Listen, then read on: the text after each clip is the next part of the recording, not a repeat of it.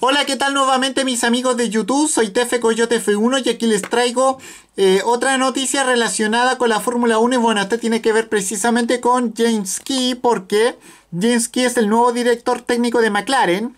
Recordemos que el británico estuvo en Toro Rosso desde el año, desde la temporada 2012 y ahora se une al equipo de Walking en el, en el proceso de, de reestructuración de la escudería inglesa. Y bueno, le deseo mucha suerte a James Key como director técnico del equipo inglés. Y bueno, espero que sea muy exitosa su trayectoria en este equipo. Y con esto me despido. Nos vemos. Adiós. Cami fuera. Chao.